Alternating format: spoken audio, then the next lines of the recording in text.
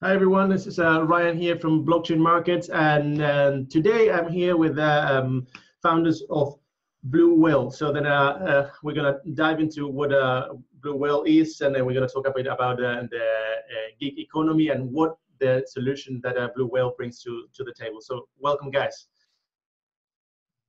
Hi. Hey guys. Yeah, thank you for having us today. Yeah. No, thank you for taking the, the time to go and then uh, discuss about uh, um, uh, Blue Whale. So um, to start, guys, if you can uh, uh introduce uh, yourselves, and then we we start more with um, Blue Whale afterwards. Okay, great. it's very nice to meet you. my name is Lo, and I'm CEO of Blue Whale Foundations. And prior to the Blue Whale Foundations, I've operated a marketplace business uh, in sharing economy sector for the past you know, uh, three to five years. And also, I total I spent like seven years in uh, startup uh, startup world as a co-founder and also CEO. Yeah. And also, uh, Jay, uh, can you briefly? So my name is Jay Choi. I'm managing director of GoWeb. Um, I, I have I used to work for the Oracle and Sun ecosystem to provide services for Samsung and LG, uh, major manufacturing company in Korea. Uh, I worked for the, this uh, IT industry for seven years and moved to Switzerland and runs top running startup company in, in Lausanne, uh, EPFL, which is uh, Ecole Polytech uh, uh, Lausanne. And I joined the Blue Whale Network. We founded together with Will and Hawons. And I'm really happy to answer whatever you are, have questions about us. Thank you. Great. Thank you, guys. Um, so now, um, if you, uh, any of you can uh, describe in just a few words what a Blue Whale network is. So, um, so basically, uh, we've started this business in order to uh, solve the existing problems in uh, sharing and uh, gig economy. So basically, uh, we can see three uh, problems in the gig and sharing economy uh, sectors. The one is uh, excessive you know, commissions, in high commissions, and also excessive advertising costs.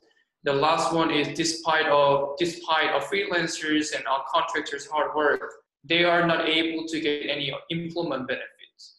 So we've designed a uh, system called Blue Whale Network in order to uh, solve those three problems. So, uh, and then um, and the Blue Whale network is comprised of three main components. The first one is then decentralized associate network and CAM, a contribution activity manager. And last one is uh, the REBA, the reward bank, can manage all the uh, rewards uh, from contributors. Interesting. Yeah, I think that that's uh, um, that's um, uh, in fact, one of the, the, main reasons why I wanted to do this interview with, you guys because I've been very much involved in the in the gig uh, economy, mainly from a hiring perspective, but also uh, I have a lot of I know a lot of people that are, um, um, are switching from a company to being freelancers, and I can I've studied that for a while. Uh, and yeah, I saw the same. Basically, that uh, what everybody says is, is that you can get uh, um, gigs from Fiverr or uh, or Upwork or um, um, freelance. Uh, but then uh, then people yeah, complain about what, that one thing that you said more the the high fees and maybe more importantly also then they think on the security side like uh, many people are thinking in in uh, switching to a more uh, independent type of work but that's stopping them the the security because they think well we are I'm not just leaving my job. I might earn a bit more in this uh, as a freelancer, but I'm leaving uh, uh, all the benefits of the company. Mm-hmm. So I think that's that's key. That uh, and it's very interesting that you're tackling that that problem. Um, so if we can uh, um, go a bit uh, deeper on on those problems and then what you saw there it was uh, you already mentioned the three things if we can see like for example like i mentioned some some platforms like upwork or fiverr or uh, freelance uh, what things uh, uh, if we can get a bit uh, deeper on that what did you think was the most interesting thing that you thought well we can tackle this with blockchain actually blockchain is a great use case for um, tackling the limitations that these other platforms have. So do, do you want to? Uh... So I think the blockchain is very, I mean, uh, very innovative technology leverage and even share economy because in order to somehow, uh, for now, there are many issues in finance economy. For instance, like the contract, for instance, like payment is not paid on time, or sometimes they skip because of the customer they don't want to pay, even they deliver their product. This can be uh, actually programmed into smart contract to actually guarantee that they're going to be paid based on their what they uh, have committed to customers. And without any exceptions, this will be conducted based on conditions you agree on the, in the beginning. And in order to actually connect many financial economy, economy even for platform, because our system is not we um, uh, we are making the standalone system by ourselves we try to connect many other platform partners in sharing economy. In order to build the connectivity between many platforms, we need to build trust system so that many participants they can participate in providing fair system. This is why we end up with the blockchain to build trust between uh, community and platforms, all the stakeholders in this ecosystem. Perfect. Um, yeah, Sorry, and also, uh, if you don't, I can also quickly add on, uh, you know, uh, what, what, what is that? So, and also, um, you know, I also used to uh, operate a uh, marketplace business.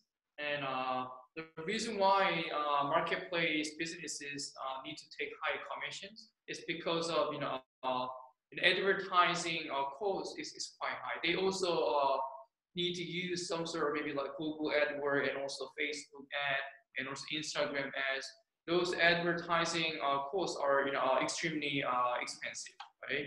So they also need to pay a lot of money in order to uh, bring uh, new customers, and uh, a lot of money actually also go to those centralized tech giants, right? So what we'd like to do is we would like to somehow build you know automated system through a token economy so that we give you know certain you know, rewards you know, based on their contribution activity. And then uh, they can also somehow bring a new customers, you know, uh, you know, through like their our referral system. And also uh, those people can also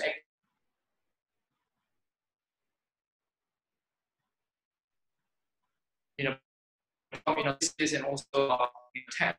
So somehow wanted to look at the uh, economy. So then each platform doesn't need to hire a bunch of sales teams or doesn't need to pay a lot of money on advertising.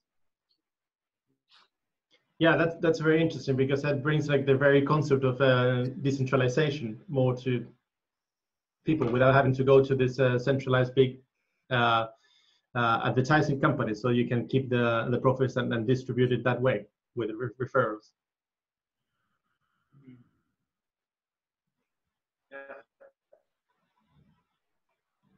Um, one thing is, um, can you hear me well?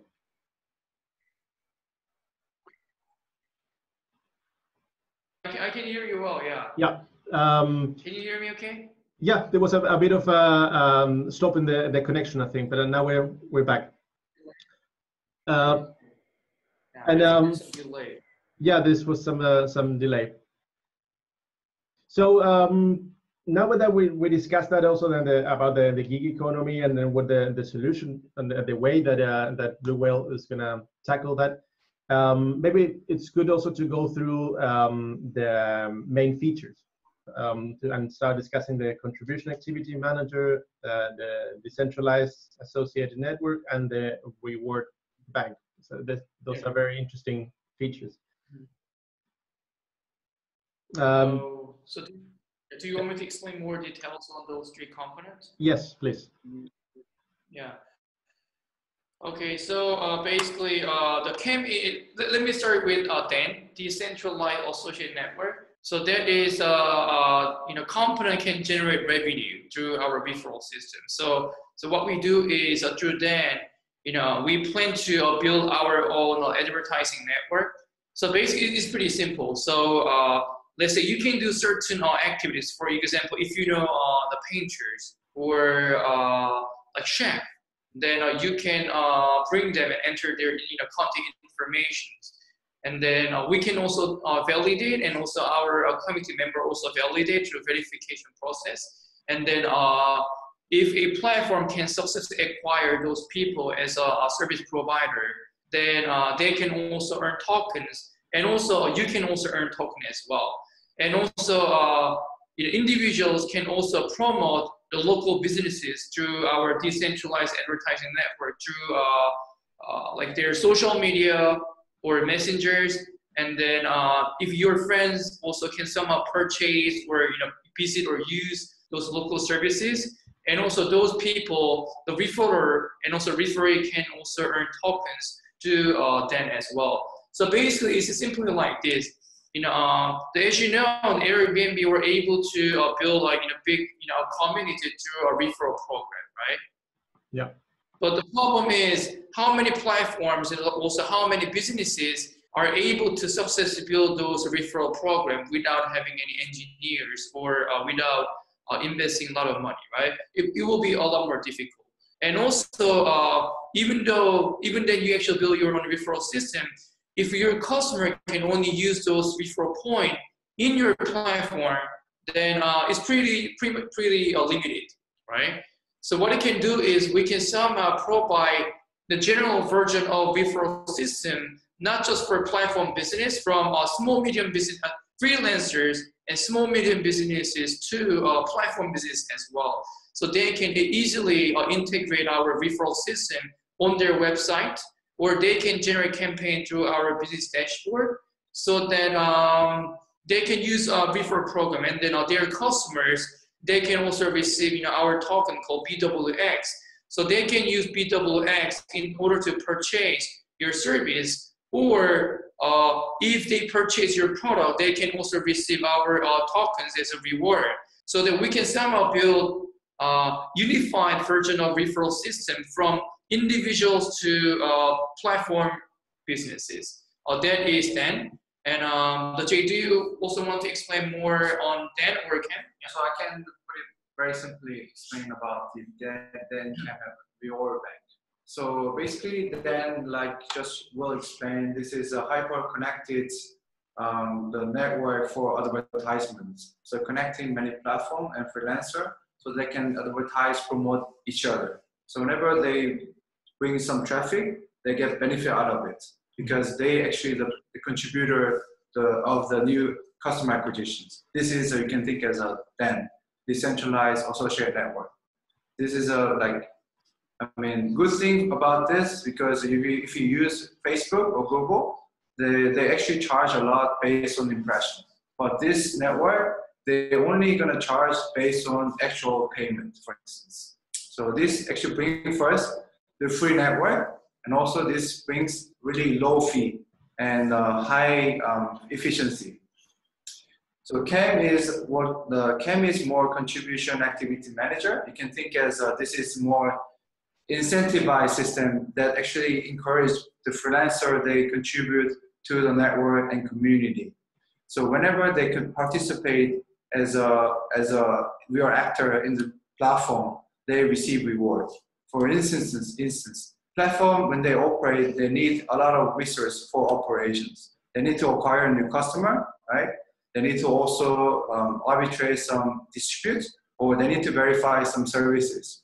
We actually designed to build based on blockchain to giving back this role with reward system. So whenever they contribute, they receive rewards. So basically, we are trying to distribute most of our profit back to community so that we don't take any margin, but we want them to own our system. Interesting. And the reward bank is kind of um, how we keep all the rewards safely. So basically, all the money we receive um, from other network or other um, decentralized uh, associate network, which we regard as revenue, we keep as a reward bank, which will be distributed through uh, the network and also will be in the reward bank fund. So your bank is kind of, you can think as a like reserve, which will be distributed through to the network community. Got it. Got it. Yeah. Yeah, very interesting. So then um, the, the reward bank basically uh, works as a, the, the, the reserve where it collects and then redistributes to the, the network. Yes. Interesting, interesting concept. Um, well, I think like we, we have covered like the the um, the main things for um, on we went through what the uh, the gig the, the the gig economy looks like um, and then your your the way that you're trying to tackle the problem that other companies uh, um, are not doing and and by using this interesting uh, uh, technology of, uh, of blockchain um, also, I think that it's very interesting. I haven't seen in, in other projects uh, uh, related to uh, to working platforms where you can work as a, as a freelancer. There are a couple now also launching ICOs but I haven't seen this concept of a, uh, of a contribution activity manager, uh, decentralized association network, and and especially the the um, uh, having a kind of a reserve, which I think is also very interesting because it it is uh, making the whole uh, infrastructure uh, more solid. Um, so having said that, uh, guys, uh, from my side, uh, I think we um, went through all the, the points that I have for the, the interview. I don't know if it's something else that we're missing that you would like to discuss as well. Um, you know, basically, so our philosophy is basically um, like you can, you know, like Lincoln's uh, his address at Gettysburg is we want to make, we want to build a system owned by freelancer and run by freelancer and for freelancer, basically. We want to be some um, autonomous platform that can run without any intervention by big player or investor or founders. Basically, we want to give back to community so that it can run smoothly without any the conflict. So that the people who work for the platform, they can receive fair reward through our platform. Interesting. Yeah, I think that's that's all. Um, um, the whole concept behind the, the um, blockchain that I find also so interesting. That is giving back to the people the the uh, uh, the power, but also the, the profits, and and as and is uh, rewarding people accordingly. Yeah. Um, so yeah, thank you very. Sorry, carry on.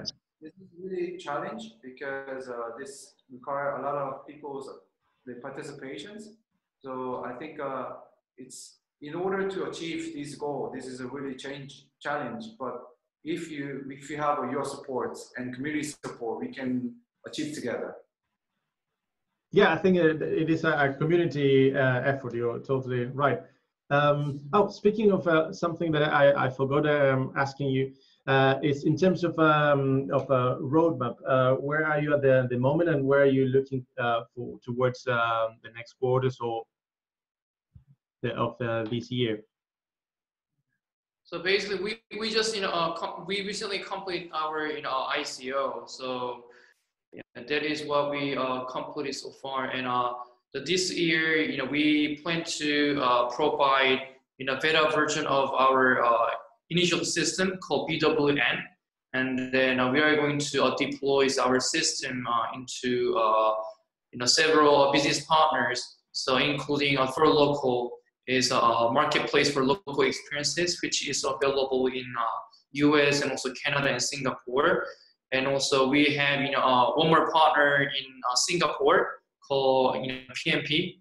And uh, another one is we also have you know, a couple of you know, partners in South Korea as well. So we plan to uh, provide our system so that they can uh, use our uh, you know our you know, three main components, DAN and also CAM and also REBA, the viewer bank. And we want to some prove that this system is working well. And also next year, uh, based on you know as you know we are you know ICON first D app so mm-hmm. we are you know uh, the, we are making our system you know based on our ICON's you know mainnet uh, but next year next year once we can approve we would also like to provide our own uh, mainnet, and then we are going to connect our mainnet with um, our uh, our partner, the Icon, so that you know we aim to build you know a hyper connected you know ecosystem.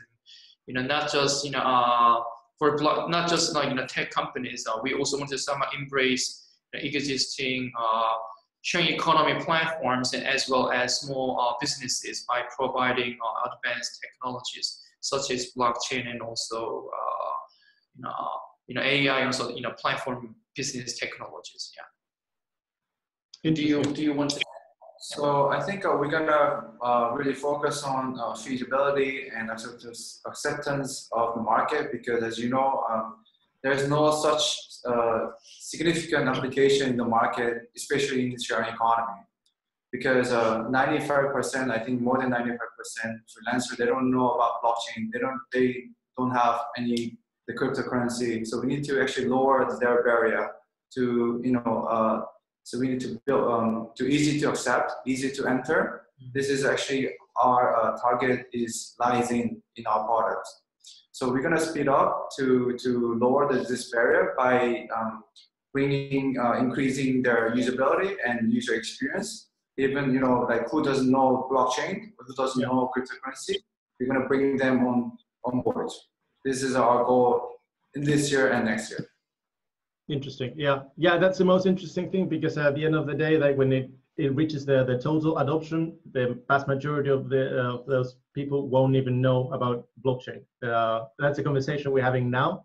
Uh, as and um, so then uh, it's a good opportunity to say to everyone that is listening now uh, that is uh, working in one of those um, platforms now see is a freelancer, just um, I think it's a good opportunity for you guys to go check uh, um, Blue Whale Network, go to the uh, follow them on on the social media, uh, subscribe to the the newsletter because I think it's a it's a very interesting concept, especially for you guys that are that are uh, um, uh, in the gig economy, but also for all the blockchain enthusiasts. Uh, also from that angle, is very interesting as well because it connects two worlds that are uh, the technology, the blockchain technology, plus this big and, and fast growing uh, gig economy. Um, so with that said, I'd like to thank you guys for um, uh, for taking the time to um, speaking with uh, me and uh, uh, for this episode of blockchain markets. and yeah, I hope the best, and I hope that we can in a few months from now have another chat and, and see how things are, are going and are moving forward in a Blue Whale Network.